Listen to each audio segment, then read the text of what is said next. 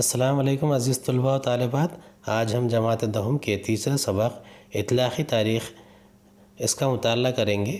इसके चार इशारत ले ले, इसके पाँच इशारत ले लेते हैं। इसमें पाँच इशारत दिए गए हैं। इतलाक़ी तारीख़ से क्या मुराद है? इतलाक़ी तारीख़ और मुख्तलिफ़ मौज़ूद की तहक़ीक़।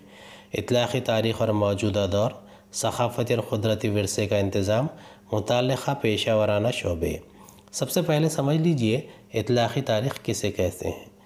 इतलाती तारीख़ इतलाक़ी तारीख़ की असलाह के लिए अवामी तारीख़ का मतबादल लफ्ज़ राइज है।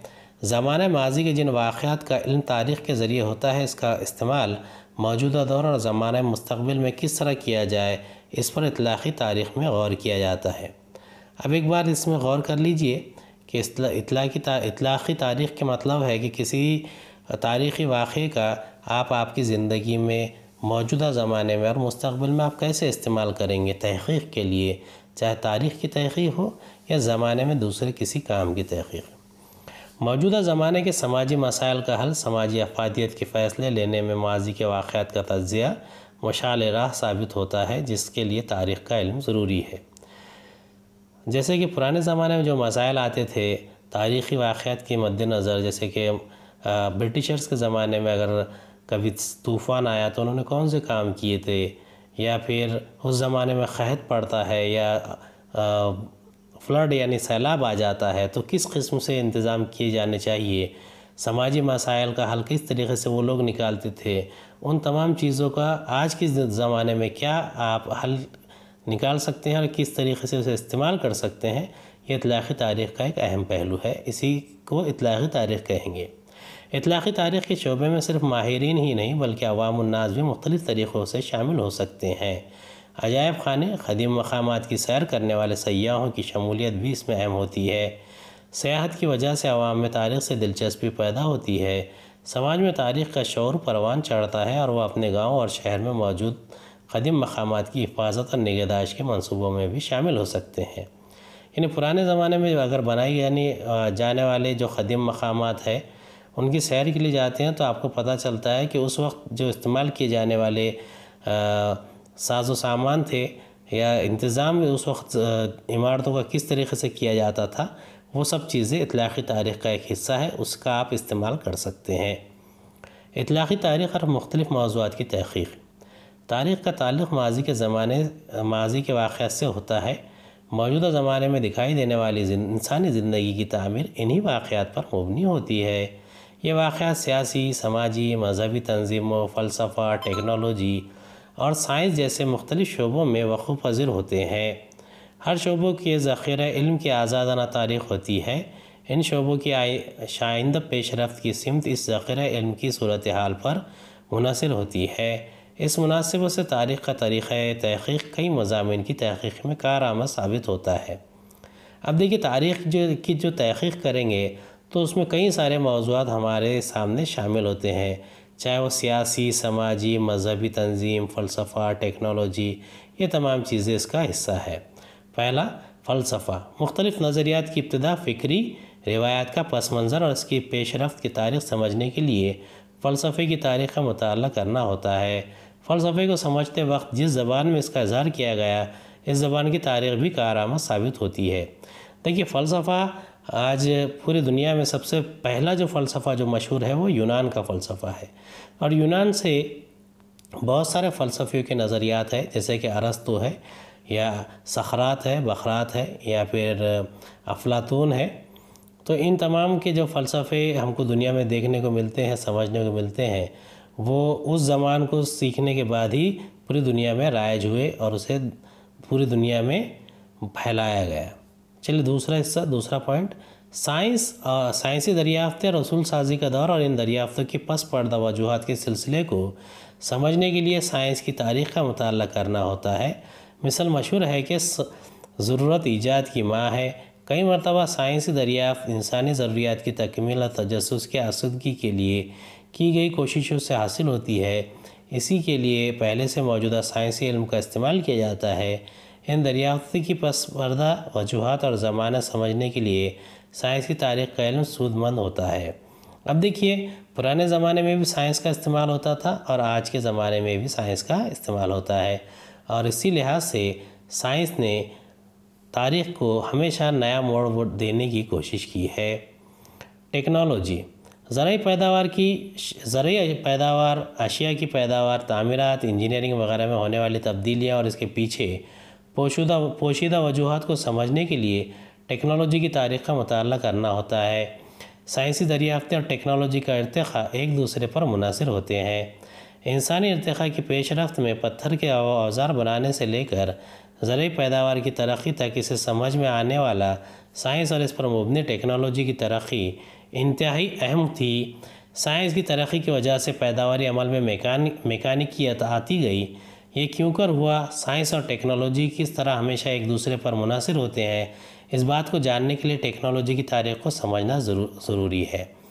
अब देखिए, हम अक्सर पुराने ज़माने को साइंस और टेक्नोलॉजी से बैत समझते थे। हालाँकि ताजमहल का डिज़ाइन हो या फिर आप दूसरे जो मुख्तलिफ़ इमारतें हैं, उन्हें बनाया जाना हो, उनका फाउंडेशन रखना हो, नहरों का इंतज़ाम हो, ये सब साइंस और टेक्नोलॉजी के तरीक़े से, कार से ही होता है।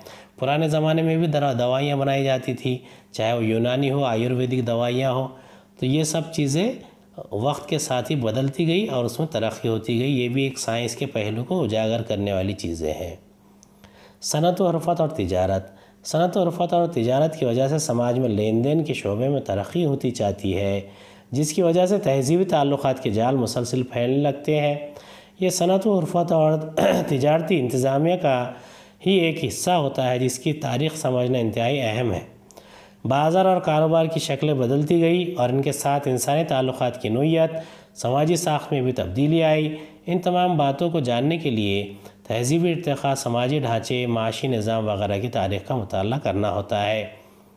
देखिए, सनत, उर्फत और तजारत, ये सबसे पहले भारत में अलाउद्दीन खिलजी के ज़माने में जब उसने तमाम फ़ौज को तनख्वाहें मुकर कर दी थी या फिर उसने नए सिक्के राइज किए थे। या मोहम्मद बिन तुगलक के ज़माने में उसने अपना दारुलखलाफा चेंज कर दिया था, गयासुद्दीन बलबन के ज़माने में या फिर अकबर बादशाह के ज़माने में तिजारत का जो निज़ाम था, फरमा, जो ताजिरों को फरमाने ज़ाहिर किए जाते थे, जारी किए जाते थे कि आप यहाँ पर तिजारत कर सकते हैं, बिज़नेस कर सकते हैं। तो ये परवाने ज़ाहिर करना, जारी करना अकबर के या फिर हुमायूं के दरबार में या फिर जहांगीर के दरबार में, ये जो ब्रिटिश ईस्ट इंडिया कंपनी के लोग आए थे तो ये सनत तो ये तजारत का तरीक़ार था। सनत ढाका की मलमल वगैरह बहुत मशहूर थी, सनत वो में तरक्की की एक मराज थी। इंतज़ामी ज़रा पैदावार, इंसानी क़वत और पैदावार के मुख्तलिफ़ अमाल बाज़ार और ख़रीद फ़रोख्त के इंतज़ाम के सिलसिले में माजी के निज़ाम को समझना ज़रूरी होता है। इस जंजीर में मुख्तलिफ़ सतहों पर जुड़े लोगों की रिवायती जहनीत समझने के लिए इन तमाम का इसार जिन मुख्तलिफ़ समाजी और माशी तनजीमों पर होता है। इसकी तारीख जानने से मौजूदा हालात में मुख्तलिफ़ सतहों पर इंतज़ाम में सहूलत पैदा होती है।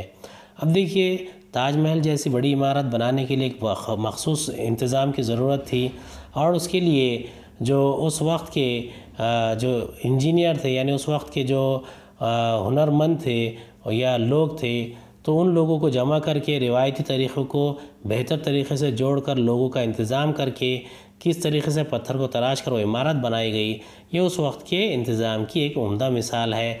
उसी तरीके से अकबर के नौ रत्नों में से टोडरमल है या फिर आ, राजा भगवान दास है या अब्दुलरहीम खान खाना है तो इनके इंतज़ाम भी अपने बहुत ही बेहतरीन थे।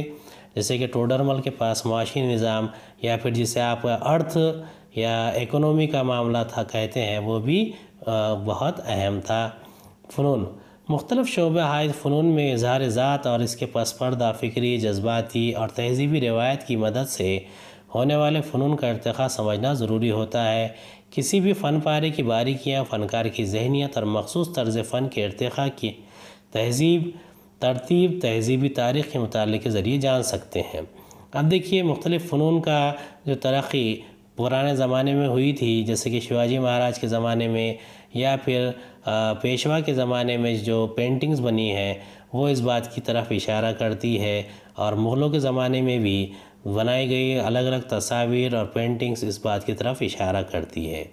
इंसानी तारीख़ आसर ख़दीमा समाजियात, बशरियात, सियासियात, माशियात जैसे ूम की इब्तदा और इरतखा की तारीख समझ समझना इन ूम के मुतल का लाजमी हिस्सा है। फ़लसफ़े को साइंस और दीगर तमाम ूम की माँ कहा जाता है। कायनात की वसत और इसमें ज़माने, उसमें इंसान के वजूद के बाहमी ताल्लुक़ को समझने के तजस में दुनिया के तमाम इंसानी समाज में लोग इसके मुतालिक ख़यास आराइयाँ करने लगे। जिससे दुनिया के वजूद में आने की कहानियाँ, कायनात का चक्कर और इंसानी ज़िंदगी से मुतक़ महुम बातें, देवी देवताओं के मुतालिक तस्वुरात, इन्हें खुश करने के लिए अदा की जाने वाली रसूमात के मुतालिक फ़लसफ़ियाना ख़याल का इरतखा, कदीम ज़माने के लोगों की हिकायत में ही फ़लसफ़ियाना ख़याल के बीच पोशीदा है। यहाँ मजकूर इंसानी के मुख्तलिफ़ शोबों की तरक्की में फ़लसफ़ियाना असूल बुनियादी हैसियत रखते हैं। तारीख़ की मदद से इसकी तरफ़ पेशरफ समझा जा सकता है। अब देखिए आसार क़दीमा में समाजियात, बशरियात, सियासियात, माशियात जैसे जो ूम है, चाहे वो चाणक्य के ज़रिए पेश किया गया अर्थशास्त्र हो, या फिर अबुल फ़ज़ल या फैज़ी के ज़रिए, या शाहनामा फिरदोसी के ज़रिए पेश की गई चीज़ें, या पुराण और उपनिषद में पेश की गई चीज़ें, ये तमाम फ़लसफ़ियाना बातें ये तमाम चीज़ें इंसानी की अक्कासी करती है और यही हमें तारीख़ को समझने में मदद भी करती है। अगले वीडियो में आपसे दोबारा मुलाकात होगी। तब तक के लिए खुदा हाफिज़।